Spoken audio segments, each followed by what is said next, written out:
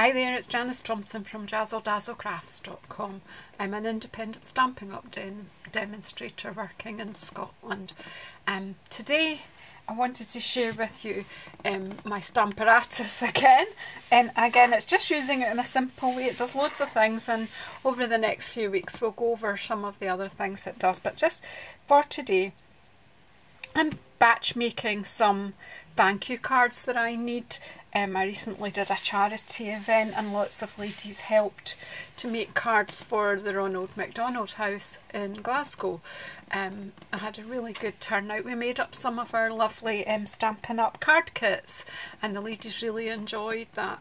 So I obviously wanted to thank them on behalf of myself and the Ronald McDonald charity for their efforts. So um, I need quite a lot of cards. So it's best, you, the Stamparatus is really good when you want to make a lot of cards that are much the same. So for this card I've actually been using the Beauty Abound set and I've taken my thank you from Petal Petal Palette has this stamp set Petal Palette has this nice thank you with the nice font that I rather liked. So I'm using this stamp from Be Beauty Abounds. So I'm going to get that ready and I've got my thank you stamp there as well. So this big stamp here I'm going to use from Beauty Abounds. So I'm getting that out and I'm just going to show you how easy it is to make a few cards in one go. I actually have made a few, I've coloured this one and made it up just to let you see, but I'll let you see the stamping process. I'm doing the stamping with the Stamparatus, the two black parts which are the sentiment and this beautiful um, stamp with the flowers and leaves and then I'm colouring them in, in with ink and adding some other stamps randomly by using blocks. So there's a bit of everything in this card but it's still simple and in lots of ways. It is still simple stamping. It just needs it just used some bits and pieces more. So pop that aside. They lined up here. So I'm bringing in my first piece of card and my stamp. So I had actually done about eight of these and then realised I needed more. So I thought it would be good to just share the process with yourself. So I want this stamp just roughly using the composition I used on this other card. So I want that one there. And I want my thank you down here. Just making sure it's straight. Take that away over there. So that's how I want, so I've cut four pieces of card here ready, so just do it with me, well watch with me and we'll show you how quick this can be. In actual fact, I'm not going to use the magnet because sometimes I find that causes me more problems than it solves. So I'm just inking up. I'm actually going to ink up both stamps. I'm using my memento so that then I can colour it in. Because I'm going to use Wink of Stella and not um, like an aqua painter or something, memento would work perfectly well. However, if you were going to use actual water colouring, then it would probably be better to use... We're going, what's called? What's called? It's not good today. Oh, goodness me, stays on. the words. So there's that, the flowers, and the thank you, and a grey hair on it.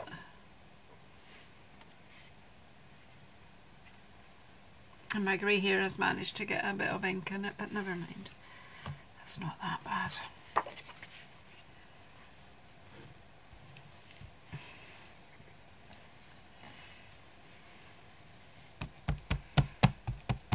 Maybe I need to, I don't know, my, I've not been too well lately so my hair has been falling out so maybe I need to wear a net when I'm stamping because that wasn't great. Right and then down and then thank you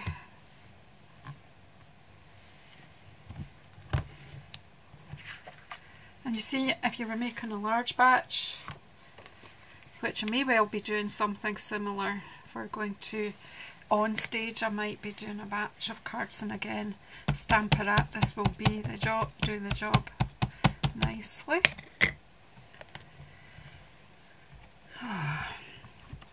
Not long till I go and I haven't really decided what my swaps are going to be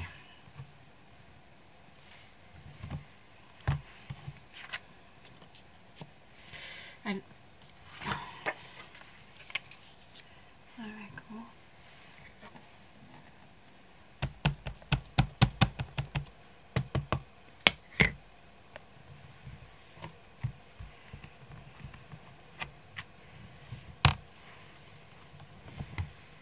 So there you go. Four card fronts done just like this. Lid on ink. Um, where's my... Let's clean these stamps off. Oops.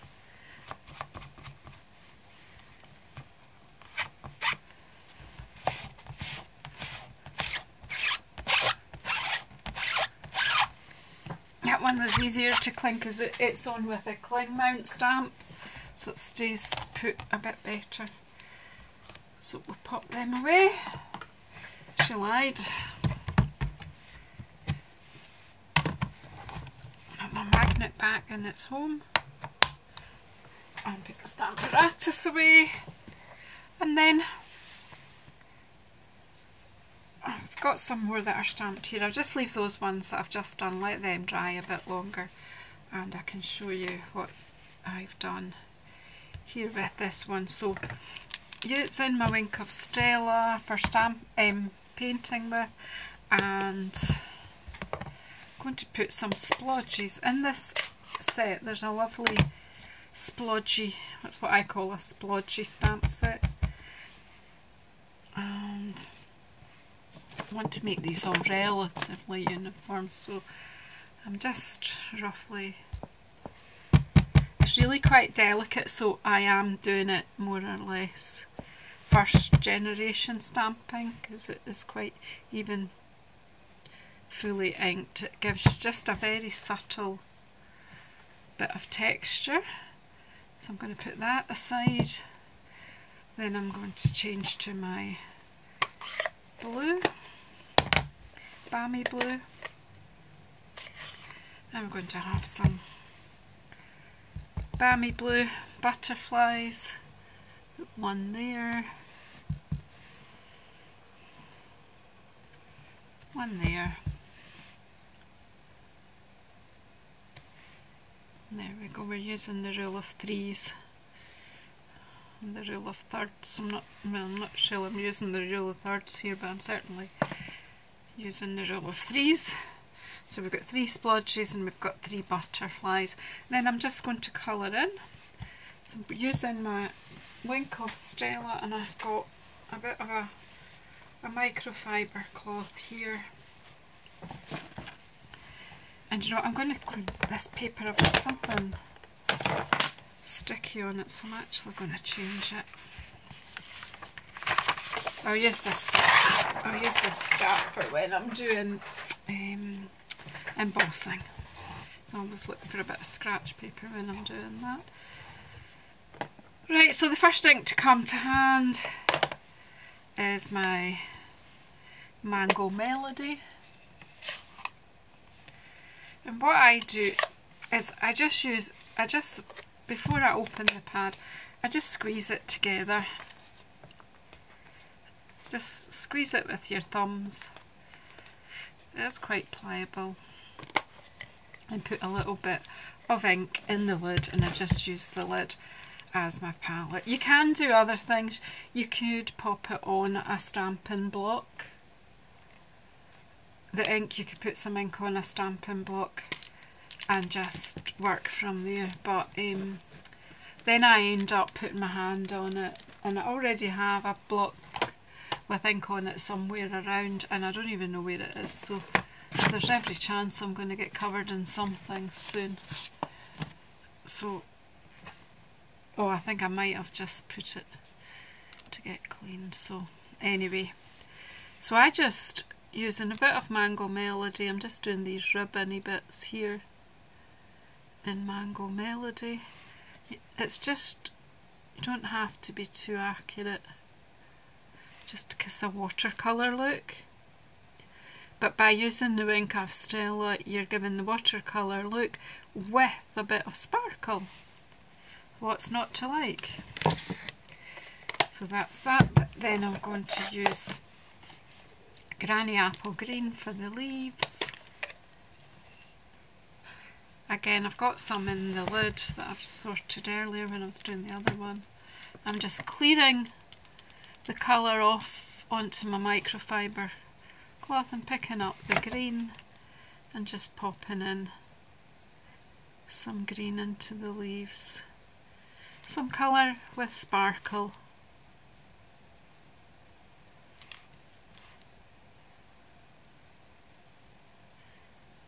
There we go. So, what have you been stamping recently? Have you shared? Do you know that I have a community Pinterest board and I would love it if you shared your makes on there? I'll put a link to it um, down below. If you find me on Pinterest and ask me, message me, ask me, find me on Facebook and ask me to add you as a collaborator onto my Pinterest board and you can pin on my board as well. I've made it a community board so we can all share our craftiness. It doesn't always have to be stamping. I'm sure most of us crafty people do lots of other crafts so you can share all your crafts on there. So that's my green added in for my leaves. And now I'm doing the flowers in blue. Balmy blue. Just to squeeze some in.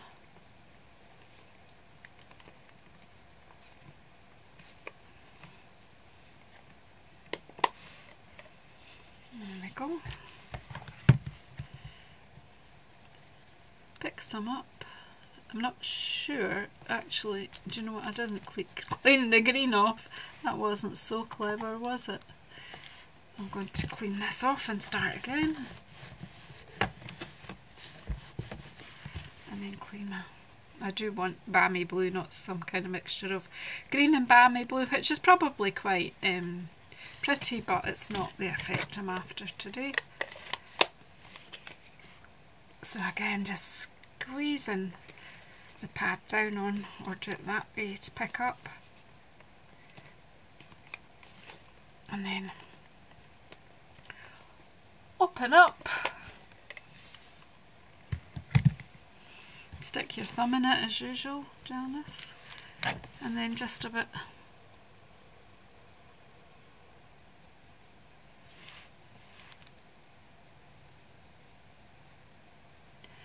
Not particularly giving it full coverage just you know just introducing the colour and the sparkle in. Nothing too heavy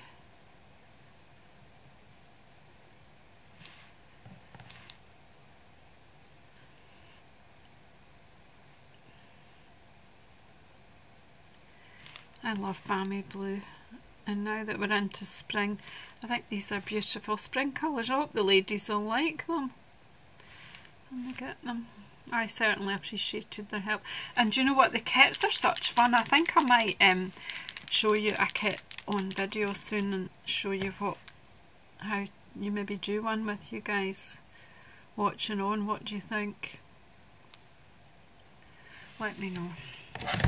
So that's the blue. What I wanted to do was a bit of um, Mango Melody in the centre of the flower, so I'm just going to clean this off again.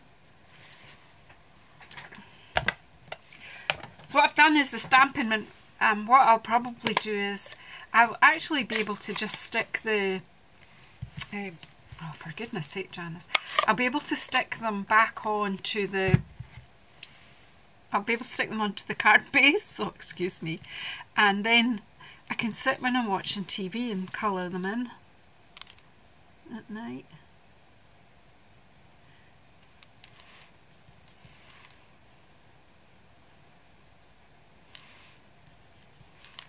I don't know how well you can see that. It's, do you know, it's quite subtle really, although these are, well the me Mango Melody is quite a strong colour and so is the Granny Apple Green, but they don't look too strong when you do it this way. So there we go. Colouring done. Clean your Wink of Stella so that the next time you use it you're not going to transfer the last colour you used. Okay, and I've got a Mango Melody card base here. I'm just going to pop this and I'm just going to use a bit of snail, quick and easy. Quick and easy lemon squeezy as they say here. There we go, I just need to line that up and somehow I find it easier if I do it this way.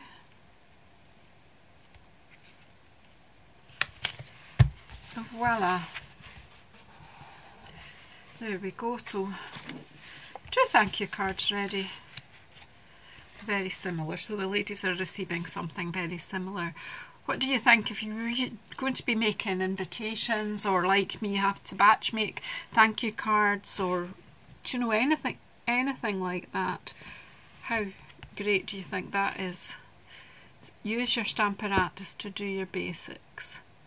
Thank you for watching. Please subscribe um, below, share with your friends and also if you hit the bell icon you will um, get notification of when the next video is coming out.